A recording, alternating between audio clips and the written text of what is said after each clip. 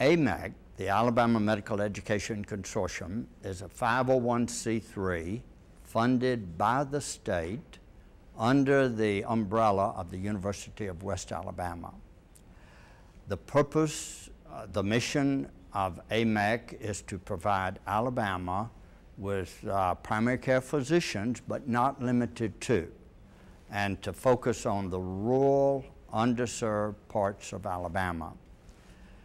Uh, we are a pipeline with all components to medical education. We have relationships with all the universities, colleges in the state.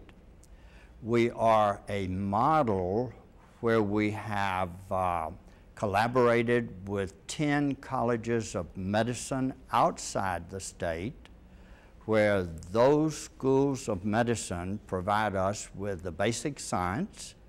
In Alabama, we do the third and fourth year of medical school, which are the clinical years.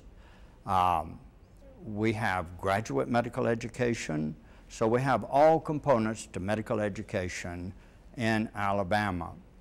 What we have done is increase the capacity in the state by greater than 50%.